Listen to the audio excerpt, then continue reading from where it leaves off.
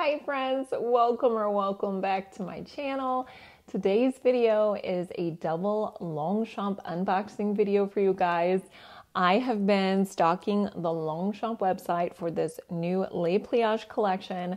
I went and ordered it a few times and then I got a notification that it had sold out and they would notify me when the bag came back in stock. So it did come back in stock and it currently is available on their website. So I went ahead and purchased these as quickly as I could and just received them. So I'm super eager to share them with you. So if that sounds interesting, then just keep watching.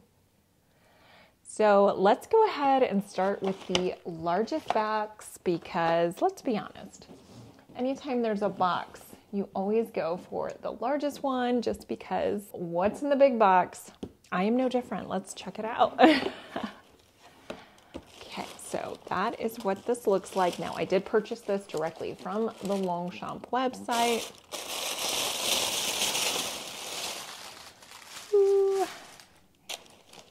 So excited. It was hard to wait to unbox this with you guys because I have been wanting this for so long. All right, let's see if I can. There we have it.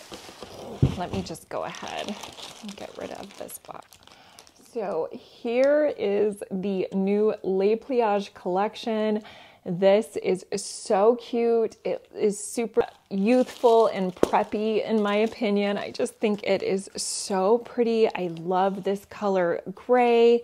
This is somewhat a cotton jersey material, which I think is so soft and beautiful. It does not come folded up, it's not have the little um, snap that all Les Pliage tote bags have. So it is not wrinkled at all. I don't need to steam this bag, which is awesome. It does come with the Russian cowhide leather in this beautiful gray with the silver hardware. And you can see the horse and jockey is embossed on the leather beautifully. So let's go ahead and take this off. So we can see what's going on. All right, so let's see what the inside looks like. Let me get the zipper pull. Oh my goodness. Okay, so here is the zipper pull. Comes with the silver hardware. It says Longchamp and has the horse and jockey. But this zipper pull, you guys, oh my goodness, it reminds me of a shoelace. So cute. I love that. Ooh, nice zipper as with all Longchamp bags. And the inside of this bag, oh my goodness, it's beautiful. I love this bag. This is so soft. Okay, so it does have the care card. It's where I'm gonna, so this large pouch is where I'm gonna put my phone. And I'm gonna go ahead, I purchased this from Amazon a while ago for a different bag, but I think it might fit. So I'm going to go ahead and put it in here mostly so you can see what it looks like standing up.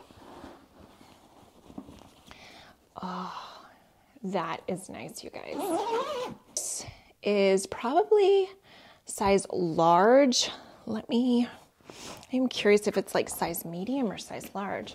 Let me just do a quick comparison. Yeah, it's the same as the size large. So there we have it. This is my um, nylon Les Pliage in the large size, and it is definitely size large. So that is what the difference in these two. Obviously, this is just that beautiful cotton jersey material it is so buttery soft. I love that. Okay, so the retail of this bag is $215. It does have a really good um, shoulder strap drop, which is nine inches, really good shoulder strap drop. And then the dimensions of this bag are 12.2 inches in length. It is 11.8 inches in height, and then the depth of the bag is 7.5 inches. So pretty. Again, embossed right there on the Russian cowhide leather. it does say Longchamp. So pretty. Absolutely thrilled to have this bag. Let's go ahead and see what else I picked up. All right, so now you can probably guess what this is, but let's go ahead and open it up. I cannot wait to see this one. So, this is also part of the new Les Pliages collection.